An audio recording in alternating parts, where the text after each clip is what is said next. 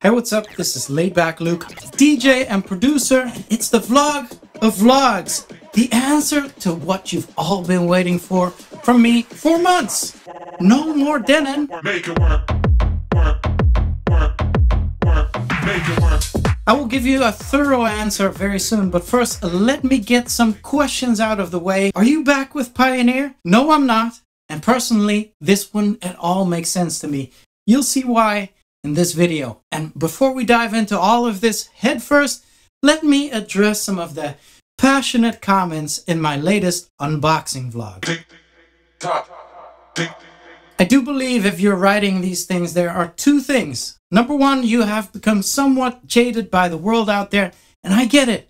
I have that too. Who can you trust nowadays? And when are you not sold something that you don't want and don't need, right? Number two, you don't know me you don't know what I'm about. So let's immediately address the elephant in the room and get that out of the way. I have never ever been paid to play on a product. Does that mean there were no deals with, say, Pioneer, Denon, and Reloop? I did do deals with these brands, but specifically, there was never anything in any of my contracts that said I'm obligated to actually play on the product or brand that I was an ambassador for. Most importantly, I will always use the best possible tools for my DJ craft. If anything, whenever I enter a contract with a brand, part of my agreement is that I am involved with the research and development to optimize with what DJs really want and need in a product. I've been endorsed while being with Pioneer, aka getting free gear, and Pioneer providing sponsorship for some events. Yes, I've been paid by Denon, and now I'm being paid by Reloop. But what do they get in return? I'll actively give them my expertise in terms of R&D, and many of you will see me DJing on their gear on my socials. I have a name and I have a reputation. I will act as an ambassador for the brand. This is very valuable. And so, like you are valuable in your job and getting paid for it, the same goes for me and a brand that I love. And now, here's the key a brand that I love. I would never push anything that I don't love or believe in. But then, Luke, did you fall out of love with Denon?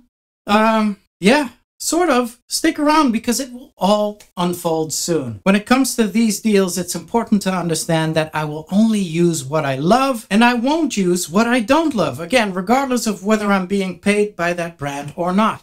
I would never want to be limited by being tied to a deal while there is gear out there that allows me a much better performance. What's really important to me is that I'm a fan of the brand first and foremost, just like I'm still a fan of the art of DJing. And if I can make a deal to push that product as long as I love it, then great. When I don't love a product anymore, I will stop using it and naturally will not continue to endorse it nor promote it. Does that make any sense? I can imagine you're having thoughts or questions already, and I also would love to see a discussion going on in the comments, so feel free to leave something down below. So, I sort of fell out of love with Denon. But why? See, here's the thing. In this particular case, Denon's road led into a very different direction than where my vision was heading. So at that point, it's no longer an option to continue a commercial collaboration for me because personally, that, my dear viewers, that right there wouldn't be genuine anymore. Here's the real reason. I am always looking for innovation. When I fell in love with dance music in the 90s, it was futuristic.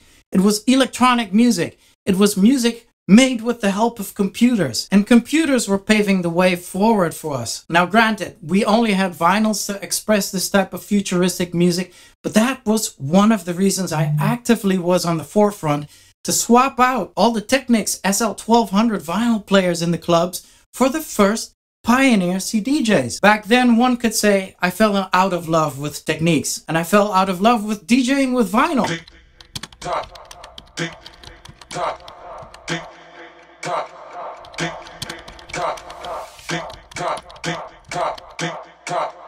It was Pioneer that approached me back then, and although I thought it was quirky switching from DJing with vinyls to CDs, I said, screw it, let's try it. So Pioneer put a nice little set of their first ever CDJ gear in my studio, and I started testing it, and whoa! Truthfully, I was utterly blown away by it. Wow, it kind of felt like vinyl, and it operated the same way, but now I had loops and cue points and no skipping needles. And now I could bring way more tracks to a show without carrying such a heavy load of music. A CD folder was way lighter than a crate full of records.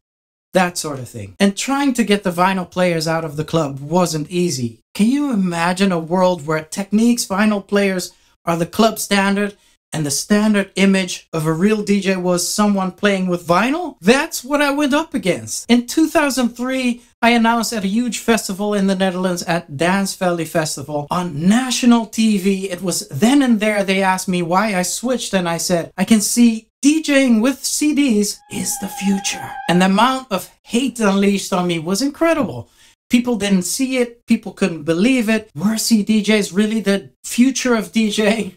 Well, the rest, as they say, is history. But this is the vlog where I'm supposed to answer the why I left Denon and for you to decide if I am a sellout or not. So let's go from Pioneer to Denon now. I had a great time in history with Pioneer, a great relationship, and I always enjoyed doing my live sets for Pioneer DJ Sounds, which are still being used as DJ tutorials throughout various DJ schools in the world. I had a good 15 years with Pioneer, pushing CDJs and their new product until Denon knocked on my door. They told me that they were developing media players, completely leaving out the CD part of their players, and that they were taking the DJ thing next level. Initially, I wasn't interested because I was happy with Pioneer and it had become the DJ standard. But wait, Denon that actually sounded futuristic. Indeed, Denon said, you might enjoy a bunch of our features. I agreed to let them put a setup in my studio and I started experimenting with it. Do you see the pattern there? And that setup, wow, it was futuristic. The multiple players on one deck, the full touchscreen, the no emergency loop but an emergency track, the eight hot cue buttons. I was thoroughly impressed and I immediately became a fan. And that's where the turning point always is for me. If I go to sleep and I can only think of new ways to perform to my crowd using this new gear, it becomes an obsession and I want to ignite you with my enthusiasm as well. And as stated earlier, I'm a valuable asset to a company, so we made a deal. I really enjoyed my Denon setup and shout out to all you Denon warriors out there. More power to you and by all means stick to the setup you love. The Prime 4, what a beast. I still love it. There were pros and cons to my Denon journey, like us struggling with having enough equipment available for promoters in certain markets, but that's something for a future video. So if you didn't do already, make sure to like this video and subscribe and hit that notification bell as well to not miss out on the things I'm about to reveal. But about four years in, I came across this video by Crossfader and shout out to Crossfader for them staying consistent and working hard